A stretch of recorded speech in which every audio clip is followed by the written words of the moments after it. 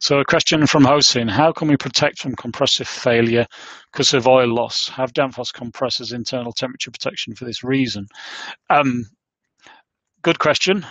We make, uh, let's say, hermetic compressors, so hermetic scroll compressors, hermetic piston machines, and we don't have an oil pump uh, on those machines.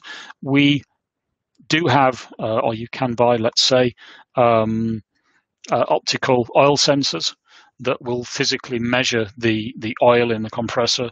Danfoss has a, an oil sensor, um, so you can physically monitor the level of oil in the compressor via a third party device like an optical sensor um, that will you know stop the machine if it if it uh, senses a, a loss of oil. Um, the other way to do it obviously is to uh, put an oil separator on the system so that we entrain and we catch that oil that goes out in the discharge line and we then feed that back to the machine via a float uh, so we can do it that way.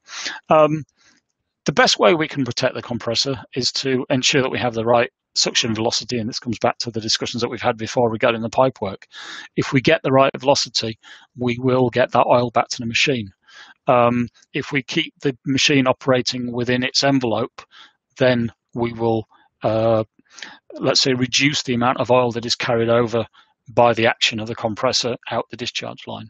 If we operate at the extremities of the envelope, um, particularly in low pressure scenarios and very high pressure scenarios, we can um, that will cause more oil carryover, and by that I mean the oil will it will be entrained in the refrigerant by the action of the compressor, and that will be pumped out.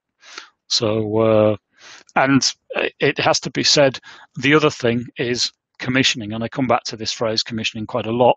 You know, when you start a, a new installation, yes, commission it, run it up, make sure it's working. Then maybe five days time, come back, check the oil level. Is the oil level okay?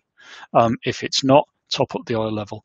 Come back a little bit later. How's the oil level? Just keep a check on it for you know the first few weeks of that installation to make sure that it's not carrying over too much oil. Um, so yeah, hope that answers that question, Hosin, in a, a fairly um, simple way.